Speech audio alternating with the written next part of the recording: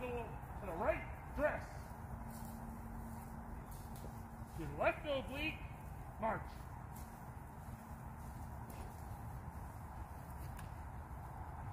Take care, halt. To the right, dress. Horn, arms.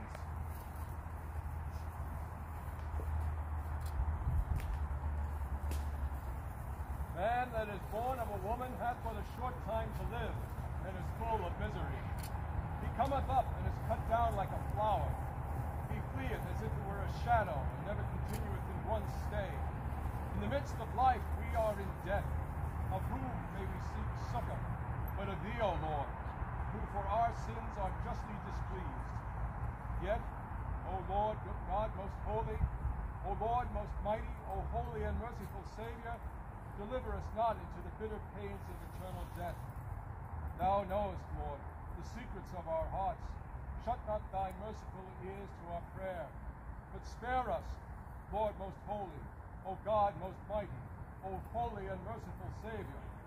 Thou most worthy, Judge eternal, suffer us not at our last hour for any pains of death to fall from thee.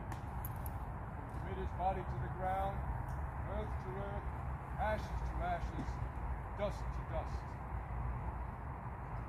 I will now read the 46th Psalm. God is our refuge and strength, a very present help in trouble. Therefore we will not fear, though the earth be removed, and though the, and though the mountains be carried into the midst of the sea, though the water thereof roar and be troubled, though the mountains shake with the swelling thereof. Selah. There is a river, streams whereof shall make glad the city of God, the holy place of the tabernacles of the Most High. God is in the midst of it. She shall not be moved. God shall help her, and that right early. The heathen raged, the kingdoms removed. He uttered his voice, the earth melted. The Lord of hosts is with us. The God of Jacob is our refuge. Selah. Come, behold the works of the Lord. What desolation he hath made in the earth. He maketh wars to cease unto the end of the earth. He breaketh the bow. He cutteth the spear in sunder. He burneth the chariot in the fire. Be still and know that I am God.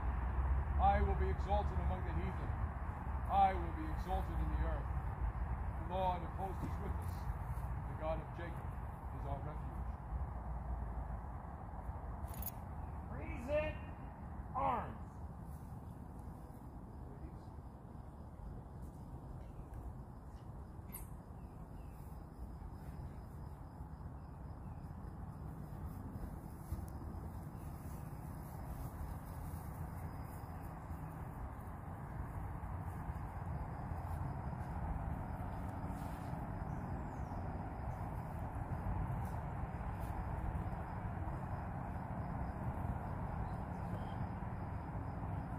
Shoulder, arms.